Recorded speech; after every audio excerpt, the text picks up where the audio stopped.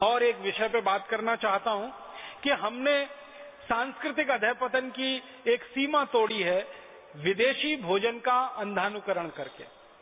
भाषा में हम विदेशी हो गए, भूषा में हम विदेशी हो गए, भोजन के स्तर पर भी हमारे देश में बहुत ज़्यादा विदेशीकरण हो गया। भोजन भी हमारी जलवायु और हमारी ज़रूरत के अनुसार विकसित हुआ है इस देश में। हमारे लाखों करोड़ों वर्ष के जीवन में भोजन का जो विकास हुआ है, ये सबसे बड़ा विकास है भारत में। भारत में माना जाता है, सारे विद्वान इस पर एक मत हैं कि भोजन में जो कुछ हमने विविधता लाई है पिछले हज़ारों लाखों वर्ष में, ये भारत की सबसे बड़ी देन है पूरी दुनिया के। शायद भारत के भोजन में जितनी विविधताएँ हैं, दुनिया के किसी देश में आपको नहीं मिलेंगी। आप जानते हैं, गेहूँ भारत में भी पैदा होता है, गेहूँ ब्रिटेन में भी पैदा होता है। गेहूँ कनाडा में भी पैदा होता है, गेहूँ अमेरिका में भी पैदा होता है, यूरोप के और भी कई देशों में गेहूँ पैदा होता है। गेहूँ एक ही तरह की फ़सल है, वो भारत में भी है, यूरोप के कई देशों में और अमेरिका में भी है। हम गेहूँ का आटा बनाते हैं और आटे से फिर हम पूड़ी बनाते हैं, कचौरी बनाते हैं, हम पराठा बनाते हैं पराठे कई तरह के बनाते हैं, पूरियाँ कई तरह की बनाते हैं, कचौरियाँ कई तरह की बनाते हैं। रोटी बनाते हैं तो रोटी भी कई तरह की होती है। कोई रोटी तंदूर वाली होती है, कोई रोटी चूल्हे वाली होती है, कोई रोटी गैस वाली होती है, तवे वाली होती है। तो रोटियों के बीसियों प्रकार हैं, पूड़ियों के बीसियों प्रकार है, कचौरियों के बीसियों प्रकार है, पराठों के बीसियों प्रकार है। माताएँ, बहनें यहाँ बैठी हैं। एक परत का पराठा, दो परत का पराठा, तीन परत का पराठा, चार परत का पराठा। ऐसे पराठे हमारे देश में घर घर में गाँव गाँव गली गली में इतने अद्भुत और इतनी विविधता वाले। हमारे पास क्या है? गेहूँ का आटा। उसी गेहूँ के आटे से खाने के लिए सैकड़ों तरह की चीज़ें हम बना सकते हैं, पूरी पराठा, रोटी आदि के स्तर पर। यूरोप के पास भी वही गेहूँ का आटा है, लेकिन उनके पास बनाने के लिए दो ही चीज़ें हैं। या तो पाव रोटी या डबल रोटी। दो ही चीज़ें हैं उनके पास। और उसको दो भी क्यों कहें? एक ही चीज़ है। पाव रोटी, डबल रोटी एक ही तरीके से बनते ही है। बहुत मामूली सा अंतर है। तो वो गेहूँ पैदा करते हैं। गेहूँ को पैदा करके आटा बनाते हैं। उस आटे से पाव रोटी, डबल रोटी के अलावा तीसरी रोटी बना ही नहीं सकते वो। हमारे यहाँ सैकड़ों किस्म की रोटियाँ, पूरियाँ, कचौरियाँ हम बनाते हैं। अब भारतवासियों का ये दुर्भाग्य है कि जिस भारत देश में हज़ारों साल से सैकड़ों किस्म के गेहूँ के आटे से बनने वाले व्यंजन रहे हों, वो भारतवासी सवेरे से शाम तक पाव रोटी और डबल रोटी खाते वो pizza, burger, hot dog, cold dog, इन्हीं नामों पे हैं, है सब वो पाव रोटी और डबल रोटी।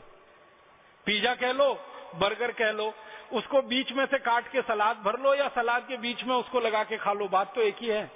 तो आप देखो कि कितने नीचे हम आए, कितना पतन हमारा हुआ। सैकड़ों किस्म के व्यंजन जो हम गेहूँ के आटे से बना सकते हो, उस देश के लोग पाव रोटी, डबल रोटी, पिज्जा, बर्गर खाने में फंस जाए। तो ये भी हमारे सांस्कृतिक अधय पतन की ही निशानी है, या बल्कि मूर्खता की निशानी मूर्खता इसमें पता है क्या है? कोई भी पाव रोटी और डबल रोटी जो आप खाते हैं ताज़ा नहीं होती। ताज़ा होती तो वो बनती ही नहीं। वो तो बासी ही होती है। वो एक दिन बासी हो सकती है, दो दिन हो सकती है, दस दिन हो सकती है, पंद्रह दिन हो सकती है। यूरोप और अमेरिका में तो तीन तीन महीने पुरानी बासी, पाव रोटी, डबल रोटी मिलती है। और लोग उन्हीं को खा के अपना जीवन चलाते हैं, गुजारा करते हैं। अब हमने उनकी नकल करके हमारे घरों में वो बासी, डबल रोटी लाना और खाना शुरू कर दिया। गेहूँ के आटे के बारे में विज्ञान ये कहता है इस आटे को गीला होने के 48वें मिनट के अंदर इसका रोटी बन जाना चाहिए। और रोटी बनने के 48 मिनट के अंदर इसको खा लिया जाना चाहिए। लेकिन पाव रोटी और डबल रोटी का अगर कहानी सुनना और गिनना शुरू करेंगे तो वो तो दसियों, बीसियों दिन पुराना होता है। उसको खराब कर करके हम खा रहे हैं। और फिर बड़ा शान महसूस करते हैं, अपने आप को बड़ा स्मार्ट महसूस करते हैं। हम पाव रोटी खाते हैं, डबल रोटी खाते हैं। स्मार्टनेस मानते हैं इसमें। अब ये सुपर इडियोसिटी है या स्मार्टनेस है, इसको तय करने की अभी ज़रूरत है। पढ़े लिखे घरों में, खासकर अंग्रेज़ी वाले घरों में, इस तरह के भोजन का इतना तेज़ी से प्रवेश हुआ है कि भारत का विविधतापूर्ण व्यंजन अब उनके घरों से गायब हो गए हैं, बाहर हो गए। अगर आप ईमानदारी से एक काम करें, हम में से कोई भी ये काम करे, जिस दिन हमारा जन्म हुआ और जिस दिन हमारी मृत्यु हो, ये सारे दिन हम गिन लें। उतने दिन हम नए नए व्यंजन बना के भारत में खा सकते हैं। इतनी विविधता इस देश में हज़ारों साल से उपलब्ध रही है। अब उस भारत में गिने चुने दो चार व्यंजन जो अंग्रेजियत वाले हैं, वो हमारे घरों में घुस गए। व्यंजन घुस गए, डबल रोटी, पाव रोटी, उसके साथ बिस्किट आ गया। जिस देश में ताज़ा रोटी बनती हो, ताज़ा भाकरी बनती हो, ज्वार की भाकरी बनती हो, बाजरे की बनती हो, मक्के की बनती हो, तीनों की मिलाकर बनती हो, उस देश के लोग बिस्किट खाने लगे, उस देश के लोग डबल रोटी और पाव रोटी खाने लगे तो इससे ज़्यादा शर्मनाक और कुछ हो नहीं सकता। तो भोजन के स्तर पर इतनी ज़्यादा गिरावट हम में आ गई है। और इससे भी बड़ी एक गिरावट हम में आई है। हम भारत में इतने अद्भुत देश में रहते हैं जिसकी कल्पना किसी देश को नहीं हो सकती। हम भारत में ऐसे स्थानों पर रहते हैं जहाँ हमको ताज़ा सब्ज़ी सुबह और शाम दोनों समय उपलब्ध होती है। भारत के किसी भी राज्य में आप रहते हो, ताज़ा टमाटर, ताज़ा मटर, ताज़ा गाजर, ताज़ा मूली, ताज़ा पालक, ताज़ा मेथी, ताज़ा बैंगन, ये सारी सब्ज़ियाँ ताजी की ताजी सुबह भी मिलती हैं, शाम को भी मिलती हैं। और आपके घर तक आकर कोई देके जाता है। आप जानते ना कोई ठेले वाला आता है, कोई खोमचे वाला, रेहड़ी वाला आता है, और आवाज़ देके, बहन जी, सब्ज़ी ले लो, माता जी, सब्ज़ी ले लो। घर के सामने आकर, आपकी घंटी बजाकर, आपका दरवाज़ा खटखटाकर, बोलकर, चिल्लाकर, आपको घर में ताज़ा सब्ज़ी देकर जाता है। ये सपना अमेरिका में रहने वाला कोई आदमी सोच नहीं सकता, देख नहीं सकता। यूरोप में किसी को कल्पना नहीं हो सकती कि सवेरे ताज़ा सब्ज़ी शाम को ताज़ा सब्ज़ी कोई घर के सामने आकर दरवाज़ा खटखटाकर बोलकर देके जाए। अमेरिका में तो ताज़ा सब्ज़ी लानी कल्पना की बात है, क्योंकि सब्ज़ियाँ सब सात से पंद्रह दिन पुरानी मिलती इससे ताज़ा सब्ज़ी तो कहीं मिल ही नहीं सकती। कोई कोई डिपार्टमेंटल स्टोर्स में एक एक महीने पुरानी मिलती और सब्ज़ी लानी हो तो 20-25 मील से लेकर सौ, डेढ़ सौ, दो सौ मील तक कार चला के जाना पड़ता है, तब थोड़ी सी सब्ज़ी आप ला सकते हैं। यहाँ घर के सामने कोई आपको सब्ज़ी देकर जाता है और सब्ज़ी ही नहीं देता। आपका हालचाल भी पूछ लेता है माता जी कैसी है? बिटिया आपकी कैसी है? तबीयत ठीक है कि नहीं ठीक है? आप सब्ज़ी लो या मना लो, वो आपके घर की कुशल छेम पूछेगा। आप उसके घर की कुशल छेम पूछेंगे। माने हमारा उससे आत्मीय संबंध हो जाता है। ऐसा आत्मीय संबंध किसी भी डिपार्टमेंटल स्टोर वाली संस्कृति में हो नहीं सकता, इसकी कोई कल्पना किसी को नहीं। यूरोप और अमेरिका के लोगों को तो कोई ताज़ा सब्ज़ी उपलब्धि नहीं है, उनके नसीब में नहीं है, क्योंकि उनके देश में होता नहीं है, बाहर के देशों से उनको सब आयात करके लाना पड़ता है।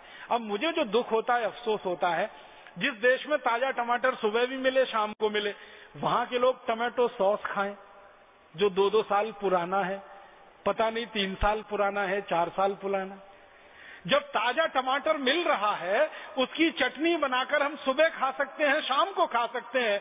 हम बाज़ार में जाएँ और Maggi hot and sweet tomato chilli sauce लेके आए। और फिर किसी से पूछे, भाई, क्या है?